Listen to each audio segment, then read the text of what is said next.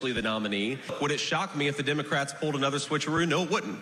So, look, we're going to wait until they actually nominate Kamala Harris and Tim Walz before we do any debates.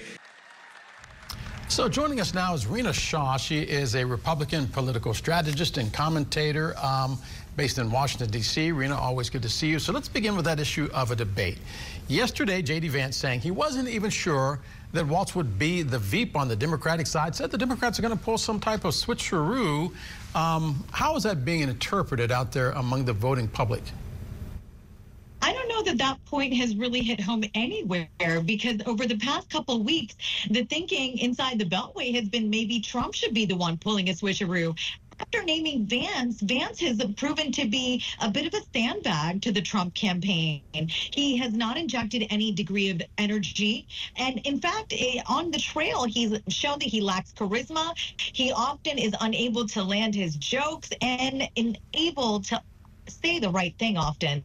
And so I think this moment kind of demands uh, a rethink for the Trump campaign. Now, look, here we sit on August 7th. This was the date by which Kamala Harris had to name her VP. Uh, but that was more for, again, reasons regarding ballots. Ohio was talked about, but it's not impossible to change the VP pick, your running mate name. Uh, it'll just prove to be quite expensive and maybe even confusing. Early ballots do go out uh, rather quickly, and in September, some people will already be casting their votes. But again, never too late for either party to make a switcheroo. I just think it would be on the Side rather than Harris making a switch of Walz. Hey, Rina, J.D. Vance seems to be baiting the Vice President, Kamala Harris, into holding more news conferences. Um, isn't what's good for the goose good for the gander? Because doesn't that point the, the, the finger right back at Donald Trump, who seems to be um, liking Fox News and One America News, but nobody else?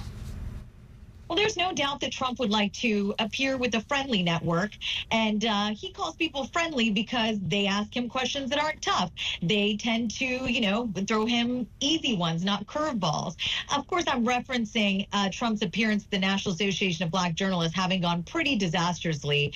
And, and that's for people on both sides of the aisle. There are people on the right who even concede that former President Trump did a pretty bad job in that setting. But again, that's why Trump told Harris that he wants to meet her ahead of September 10th and debate her with Fox News as the host rather than with ABC on the 10th. I think both of them should meet in both venues. I think the more the public sees both candidates, it's good for both campaigns because, look, Kamala Harris is enjoying a reception that many insiders could never have predicted. This momentum she's got with the wind at her back, rolling into the DNC, which will be later this month, I think it's not going to go away anytime soon. So she's got a boost right now, and I think it'll be sustained through September.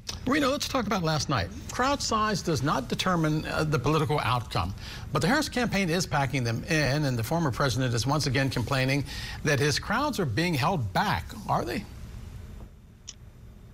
It's hard to tell if you're not on the ground, right? And that's why the good reporting of Scripps News reporters is pretty important to all of us as we pay attention with the less than 100 days to go. Uh, we need the facts. And, and with talk of crowd size, of course, my mind goes back to 2016, Del, of Trump saying and, and frankly, doctoring pictures to make it look like his inauguration crowd was bigger than Obama's.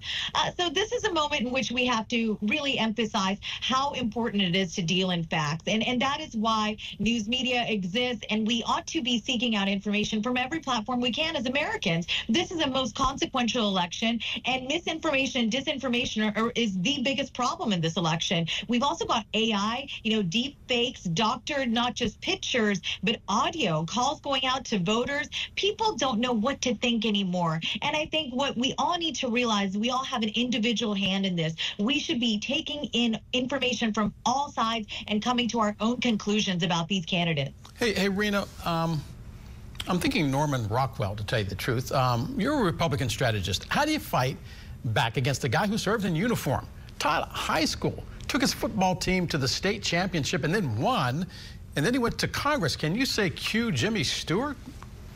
Oh, Del, that's a quite a loaded question there, but I think it's a very important one you're asking. As a political strategist right now, I'm not currently advising any Republicans, but my whole career has been in the Republican Party, and I'm still a card-carrying Republican. I truly believe in the greatness of this party's values, but many of those good values have been overshadowed in the past eight years. I will say, when I saw Walz take this uh, the stage with Harris yesterday in Philadelphia, it gave me some vibes of Paul Ryan and Mitt Romney.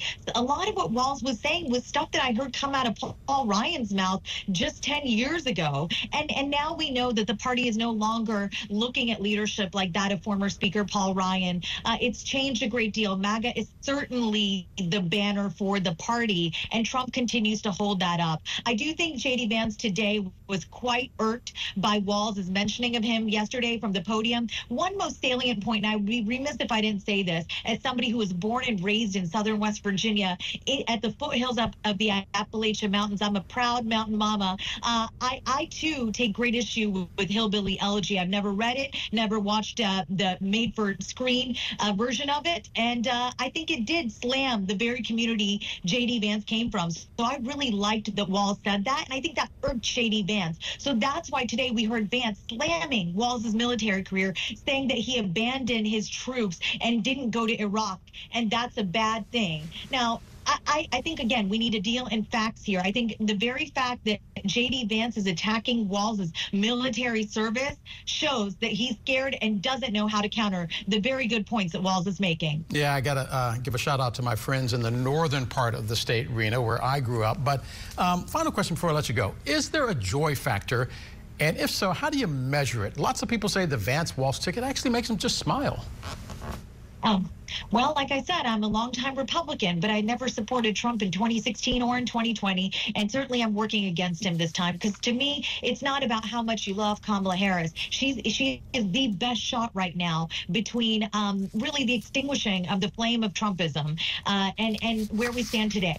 Uh, she can defeat Trump, and if she defeats him again, I think the Republican Party needs to look inward and and really have a moment where they ask themselves, why are we a losing party in 2020, in 2024? And I think Harris has a stronger shot than most Republicans thought. But to answer your question on the nose, I think this moment is uh, is really challenging a lot of mindsets. A lot of people inside the Beltway have been wrong, and I think this next uh, less than 100 days tells us that we all need to be paying close attention because because we need these people who are trying to lead our country to deal in facts. So it's time for some more substance. I look forward to the debates, and I am just ready for the ugly campaigning to stop. I, we need more light. We don't need darkness. So again, looking at that Philly uh, rally last night, it was hard not to smile and hard not to feel hopeful when you're seeing such joy being projected by two people who want to lead this country at the highest level next. Rina Shah, who hails from the great mountaineer state of West Virginia, can't be all that bad. Rina, thank you very much. As we had to break, thank by the way, um, we're taking a look at Wall Street. As you can see, the Dow continues to rebound from Monday's terrible losses. Right now in positive territory, 39,225. More importantly, up almost a half a percent, more than a half percent. We're back out on the scene in three minutes. Stay with us.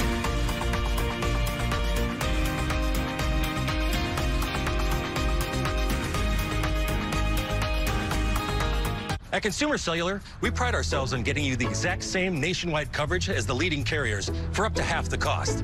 But don't worry, we've got a lot more than that going for us. Woo!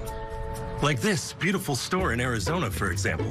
It's the perfect place for me to tell you a little bit more about our phones and how they can become